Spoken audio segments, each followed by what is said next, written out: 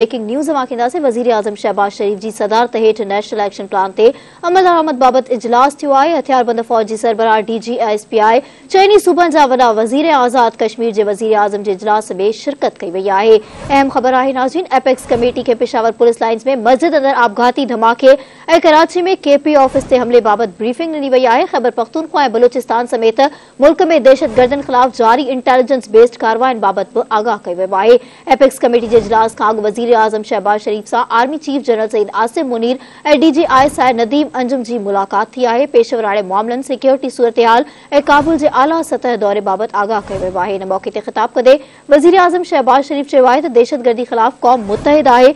जेकॾहिं असां पाण घर जूं हालतूं दुरुस्त न कंदासीं, केरु ॿाहिरां असांजी मदद लाइ न ईंदो। आईएमएफ जे गिरनि शर्तुनि ते मुआदो कयो आहे। हुन वधीक चयो त इनशा जल्द मामला तइ थी हुकूमत इतिहादनि सियासत खे, छॾे रियासत खे बचायो